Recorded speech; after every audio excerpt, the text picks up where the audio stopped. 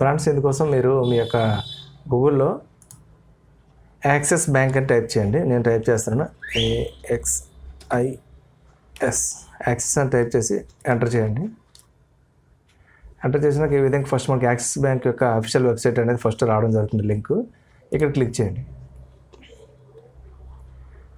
Click చేసిన ఈ విధంగా ఉంటుంది యాక్సిస్ బ్యాంక్ యొక్క అఫీషియల్ వెబ్ పేజ్ అనమాట ఇక్కడ యాడ్ ఉంటుంది. ఇక్కడ క్లోజ్ చేయండి. ఫస్ట్ ఇంటర్నెట్ బ్యాంకింగ్ చేయాలంటే ఫస్ట్ రిజిస్టర్ చేసుకుని ఉండాలి. రిజిస్టర్ చేసుకున్న తర్వాత మీరు ఆ తర్వాత ఇంటర్నెట్ బ్యాంకింగ్ అనేది లాగిన్ అవ్వగలరు అనమాట అయితే రిజిస్టర్ ఎలా చేసుకోవాలంటే దీనికోసం ఫస్ట్ స్టెప్ ఏంటంటే మనకి నేను ఇక్కడ లాగిన్ అని చూశారు కదా? లాగిన్ అనేది మౌస్ పెట్టినట్లయితే కింద రిజిస్టర్ కనిపిస్తుంది ఇక్కడ. మీరు రిజిస్టర్ చేసుకొని లాగిన్ అవ్వాలి కాబట్టి ఫస్ట్ రిజిస్టర్ చేసుకోండి ఇంతవరకు అకౌంట్ క్రియేట్ చేయనట్లయితే ఇంటర్నెట్ బ్యాంకింగ్ది ఇక్కడ రిజిస్టర్ అనే చోట క్లిక్ చేయండి. క్లిక్ చేసిన తర్వాత ఈ విధంగా ఒక పేజ్ అనేది ఓపెన్ అవుతుంది. ఇక్కడ మనకి ఏంటంటే మూడు స్టెప్లు అనేవి ఉంటాయి. కిందకి చూడవచ్చు మీరు. సెకండ్ స్టెప్ అనేది యూజర్ ఇన్ఫర్మేషన్ థర్డ్ స్టెప్ అనేది ఎంటర్ డీటెయిల్స్ ఫోర్త్ స్టెప్ అనేది న్యూ పాస్వర్డ్ అనమాట ఇక్కడ చూడొచ్చు మీ యొక్క ఐడి అనేది ఇక్కడ ఎంటర్ చేయాల్సి ఉంటుంది. మీ అకౌంట్ నెంబర్ కాదు ఇంకొక ఐడి ఉంటుంది అనమాట కస్టమర్ ఐడి అదే మనకు యూజర్ ఐడిగా ఉంటుంది. ఐడి ఎప్పుడు మారదనమాట ఆ ఐడి ఒకరు మీకు తెలియనట్లయితే ఇక్కడ చూడొచ్చు మీకు ప్రాసెస్ ఇచ్చారు. యూ కెన్ ఆల్సో ఎస్ఎంఎస్ అని ఎస్ఎంఎస్ కానీ మనకి మీరు చేసినట్లయితే ఇలాగా కస్ట్ ఐడి అని మీరు కానీ టైప్ చేసి ఎస్ఎంఎస్ చేసినట్లయితే మీకు ఆటోమేటిక్ మొబైల్ నెంబర్కి ఎస్ఎంఎస్ కూడా రావడం జరుగుతుంది. యాక్చువల్గా మీకు ఏంటంటే మీ యొక్క పాస్బుక్లో ఉంటుంది చెక్ బుక్లో కూడా ఉంటుంది. ఒక లేనట్లయినా కూడా మీ యొక్క మొబైల్ బ్యాంకింగ్ యాప్లో కూడా ఉంటుందన్నమాట. మీరు కస్టమర్ ఐడి ఒకరు తెలియనట్లయితే అక్కడ చూసుకోవచ్చు. చూసుకున్న తర్వాత ఐడి అనేది ఇక్కడ ఎంటర్ చేయండి. నేను ఒక ఐడి అనేది ఎంటర్ చేస్తున్నాను.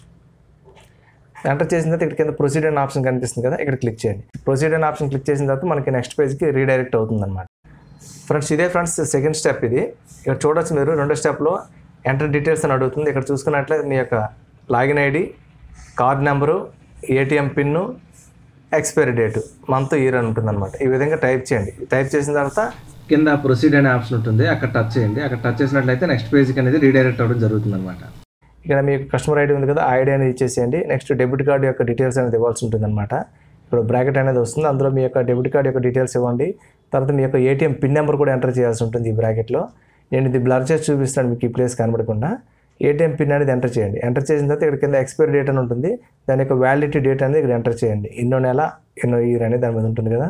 కార్డు మీద అది ఎంటర్ చేయండి. ఎంటర్ చేసిన తర్వాత కార్డు కరెన్సీ ఉంది.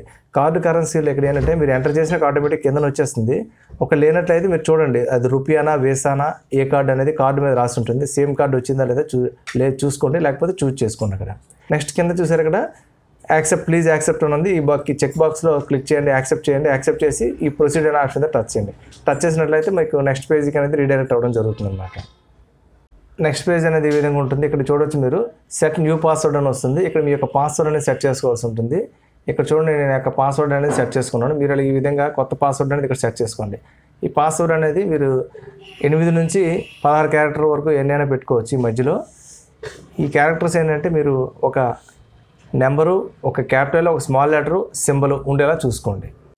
ఎంటర్ ఓటీపీ అని చూసారు కదా ఇక్కడ ఒక ఓటీపీ అనేది రావడం జరుగుతుంది మన యొక్క మొబైల్ నెంబర్కి. ఆ ఓటీపీ అనేది ఇక్కడ ఎంటర్ చేయండి. సబ్మిట్ అనే ఆప్షన్ క్లిక్ చేయండి. ఒకవేళ కనుక మీకు ఓటీపీ రానట్లయితే ఇక్కడ రీసెంట్ అని చూసారు ఇక్కడ క్లిక్ చేసినట్లయితే మళ్ళీ మీకు ఎస్ఎంఎస్ అనేది పంపించడం జరుగుతుంది. అప్పుడైనా ఎస్ఎంఎస్ చూసిన తర్వాత ఇక్కడ ఎంటర్ చేయండి ఓటీపీ ప్లేస్లో ఎంటర్ చేసి సబ్మిట్ అనే చోట క్లిక్ చేయండి. ఓకే ఫ్రెండ్స్ ఈ విధంగా సెట్ చేసిన తర్వాత ఇక్కడ పాస్వర్డ్ సక్సెస్ఫుల్ అని వస్తుంది మీకు. రిజిస్ట్రేషన్ సక్సెస్ఫుల్ అని. ఈ విధంగా సక్సెస్ఫుల్ అని పాపప్ అనేది ఒకటి వస్తుంది. ఆ పాపప్ అనేది వస్తే మీకు ఆటోమేటిక్గా మీ ప్రాసెస్ కంప్లీట్ అయినట్లే. మీరు ఇప్పుడు ఏం చేస్తారంటే హోమ్ పేజ్కి వచ్చేసి లాగిన్ అనే చోట క్లిక్ చేయండి. లాగిన్ ద్వారా మీ యొక్క ఐడి అనేది ఎంటర్ చేసేయండి. నేను నా యొక్క ఐడి అనేది ఇస్తాను. కింద పాస్వర్డ్ ఇచ్చేసి లాగిన్ అనే చోట టచ్ చేయండి. ఇక్కడ లాగిన్ అనే చోట టచ్ చేసినట్లయితే ఆటోమేటిక్గా ఇక్కడ చూడండి స్కిప్ అనే ఆప్షన్ వచ్చాను కదా. స్కిప్ రిజిస్ట్రేషన్ అనే చోట క్లిక్ చేస్తున్నాను. టిక్ చేసినట్లయితే ఆటోమేటిక్గా ఇంటర్నెట్ బ్యాంకింగ్ అనేది ఓపెన్ అవ్వడం జరుగుతుంది. ఓకే ఫ్రెండ్స్ ఓపెన్ అయిపోయింది. ఇంటర్నెట్ బ్యాంకింగ్ ఇంటర్ఫేస్ అనేది ఈ విధంగా ఉంటుంది. ఇక్కడ చూడొచ్చు నా యొక్క అకౌంట్ నెంబరు మెసేజ్ అనేది ఇక్కడ కొన్ని డైరెక్షన్స్ ఇవ్వడం అనేది డెమో అనమాట వ్యూ డెమో అని ఇచ్చారు. ఈ డెమో ప్రకారంగా మీరు యూజ్ చేసుకోవచ్చు అనమాట తర్వాత ఇందులో ఉన్న ఆప్షన్స్ అన్ని స్టెప్ బై స్టెప్ మీకు వివరిస్తాను ఫ్రెండ్స్.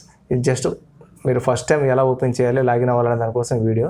నెక్స్ట్ మీరు స్టేట్మెంట్ ఎలా డౌన్లోడ్ చేసుకోవాలి ఏంటి అనేది ఇక నెక్స్ట్ వీడియోలో వస్తుంది ఫ్రెండ్స్. ఈ వీడియోలో ఏంటి friends?